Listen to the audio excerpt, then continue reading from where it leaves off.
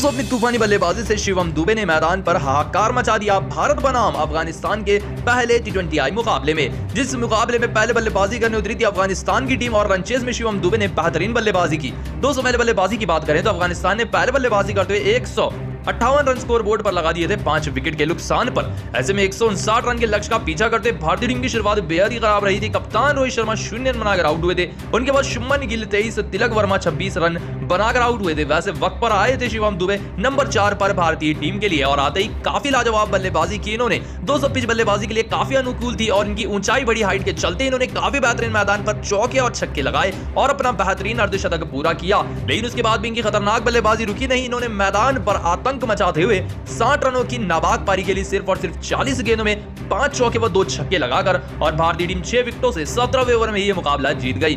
दोस्तों, शिवम दुबे को man of the match दिया गया उनकी बेहतरीन पारी के लिए। लेकिन दोस्तों आप शिवम दुबे की इस पारी को दस में से कितने नंबर देंगे? कमेंट बताएँ। वीडियो तो लाइक करें सब्सक्राइब करें। धन्यवाद।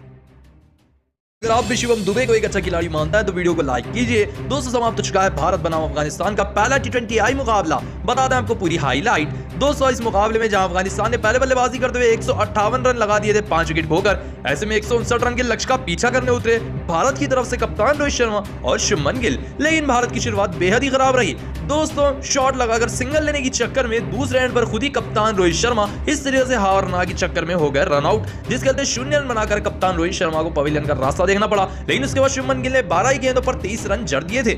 लेकिन अगली गेंद पर एक और बड़ा शॉट लगाने के चक्कर में स्टंपिंग आउट हुए शुभमन गिल। तेईस रन बनाकर बारह गेंदों में मुजीब के हाथों शुभमन आउट हुए। लेकिन उसके बाद तिलक वर्मा ने भी आधा ही कुछ ताबड़तोड़ शॉट्स लगाए। सभी को पता था लक्ष्य छोटा था, ज़्यादा से ज़्यादा रन बटोरने थे और वही काम हो रहा था। इसी चक्कर में ये भी अजमतुल्ला की इस गेंद पर पीछे खड़े गुलबदीन को कैच दे बैठे, लेकिन ये भी अपना काम कर कर आउट हुए। छब्बीस रन बनाकर बाईस गेंदों में आउट हुए। अब बची कुछ ही कसर पूरी की शिवम दुबे के अर्ध शतक ने।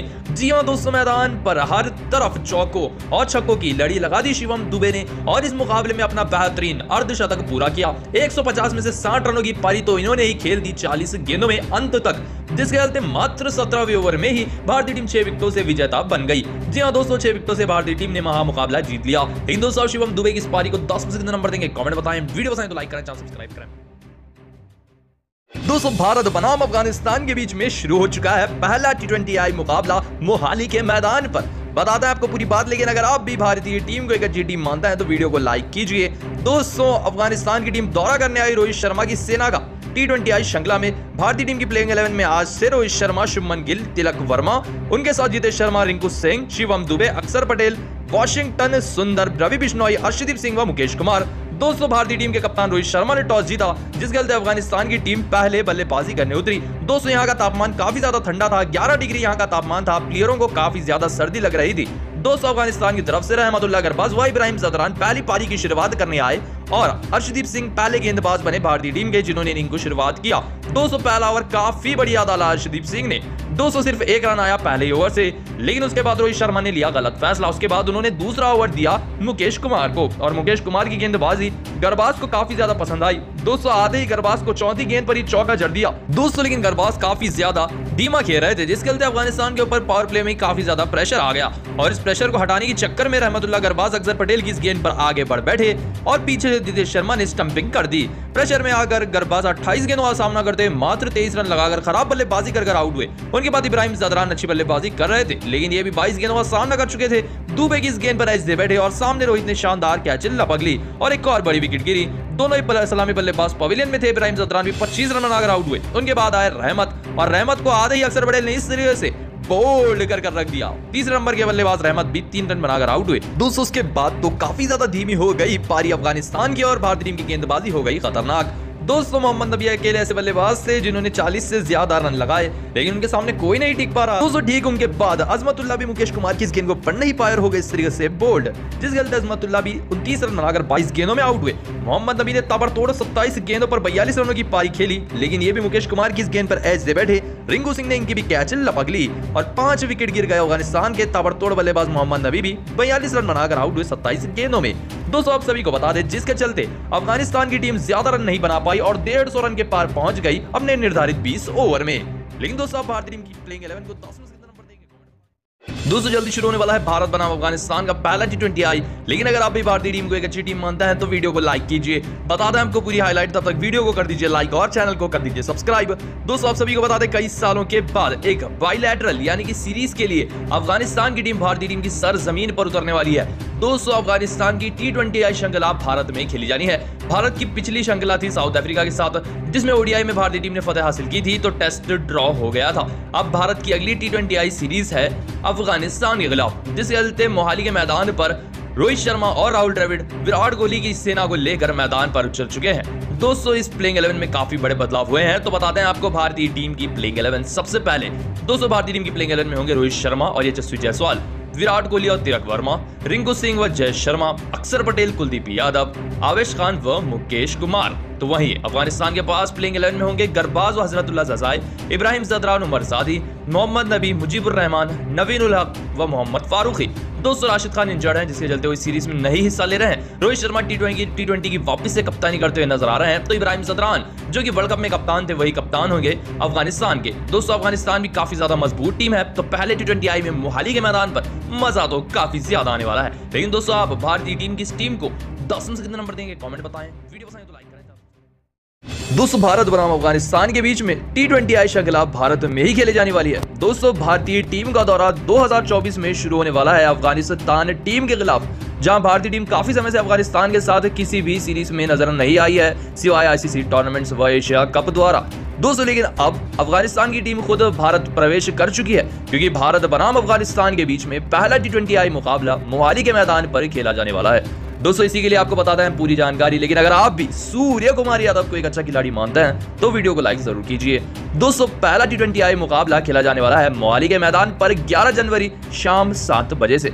दोस्तों, पंजाब क्रिकेट एसोसिएशन का यह मैदान है, जो कि बल्लेबाजी के लिए काफ़ी ज़्यादा अनुकूल होता है। दोस्तों, इस मैदान पर इससे पहले तीन टी ट्वेंटी आई मुकाबले भी खेले गए हैं। जहाँ एक मुकाबला था। पिछले सीरीज़ में भारतीय टीम के साथ जहाँ रनों की बारिश कर दी थी, भारतीय टीम के युवा खिलाड़ियों ने। ऐसे में मोहाली का मैदान वही मैदान है जहाँ पर पंजाब किंग्स की टीम भी खेला करती है आईपीएल में। दोस्तों, मोहाली की पीछी बल्लेबाजी के लिए काफ़ी ज़्यादा बेहतरीन है। स्टेडियम छोटा है तो मैदान पर चौक और छक्कों की बारिश तो तय है। दोस्तों, अगर स्क्वाड की अगर हम बात करें तो वो अभी तक अनाउंस नहीं हुई है। लेकिन जिस हिसाब से भारत और अफ़गानिस्तान की सीरीज़ की बात चल रही है, वो काफ़ी ज़्यादा लाजवाब है। क्योंकि अफ़गानिस्तान की टीम एक ऐसी टीम है जो कि बड़ी सी बड़ी टीम को आज के वक्त पर टक्कर दे सकती है। जो टीम पाकिस्तान की टीम को वर्ल्ड कप में हरा सकती है तो भारत को भी हरा सकती है भारत में आकर। इसीलिए अफ़गानिस्तान को कभी भी हल्के में नहीं ले सकते। लेकिन दोस्तों, आपको क्या लगता है, क्या अफ़गानिस्तान की टीम भारतीय टीम को हरा पाएगी, या फिर भारतीय सेना मात देगी राशिद खान की सेना को पहले टी ट्वेंटी आई मुकाबले में? इसका जवाब हमें कमेंट में एक बार ज़रूर बताते हुए जाएँ। वीडियो पसंद तो लाइक करें, चैनल सब्सक्राइब करें। धन्यवाद।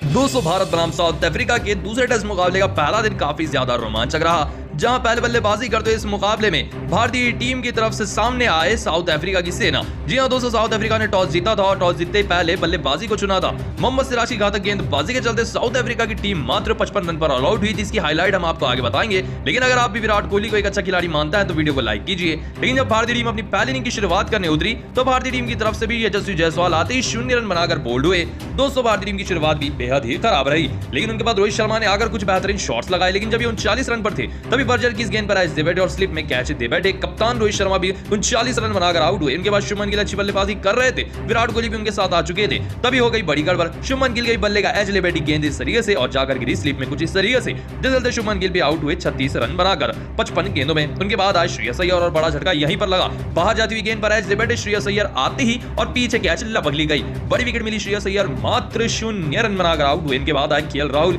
विराट कोहली अच्छी बल्लेबाजी कर रहे थे। लेकिन तभी के राहुल ने भी कर दी बड़ी गड़बड़ी। इस तरीके से बाहर जाती हुई गेंद को छेड़ बैठे बल्ले का एज लेकर सीधा विकेट कीपर के हाथों में जाकर गिरी गेंद, जिसके चलते के राहुल भी आउट हुए मात्र आठ रन बनाकर। दोस्तों उनके बाद साथ जडेजा भी बाहर जाती हुई गेंद पर एच दे बैठे आते ही शून्य रन बनाकर आउट हुए और यहाँ से करिश्मा चालू हुआ। दोस्तों यहाँ से पाँच विकेटें बिना कोई रन बनाए गई। जी हाँ दोस्तों अगले पाँच बल्लेबाजों ने एक भी रन नहीं बनाया। जैसे कि आते ही बुमराह ने एच दे दिया इस तरीके से और इनकी भी कैच लपकी गई। ये भी शून्य रन बनाकर आउट हुए। जडेजा और ये शून्य रन बनाकर आउट हुए। उनके बाद विराट कोहली भी बाहर जाती हुई गेंद को छेड़ बैठे। पीछे मारकर ने शानदार कैच लपक ली जिसके चलते भी छियालीस रन बनाकर आउट हुए। लगातार तीन ओवर में तीन विकेट बिना कोई रन बनाए। उनके बाद आए इस तरीके से प्रदीप कृष्णा। लेकिन ये भी सिंगल लेने के चक्कर में रन आउट हुए। और ये भी शून्य रन बनाकर आउट हुए। जिस चलते पाँच बल्लेबाज शून्य रन पर आउट हुए, बिना कोई रन बनाए एक रन पर ही ऑल आउट हुई भारतीय टीम। ऐसे मैच को खत्म करने के लिए अभी भी ओवर थे सत्रह। एडन माक्रम आए और उनके साथ वापस से एलगर आए। लेकिन एक और बार मुकेश कुमार की बात जाती हुई गेंद को एलगर छेड़ बैठे। एज लेकर जाकर दस्तानों में गिरी गेंद। जिस गलते कप्तान एलगर आउट हुए, बारह रन बनाकर। उनके बाद टोनी तेजोर भी बाहर जाती हुई गेंद को एज दे बैठे। ये भी आउट हुए, जिसके चलते पहले दिन के खेल में एक और विकेट गिरी। टोनी तेजोर भी एक रन बनाकर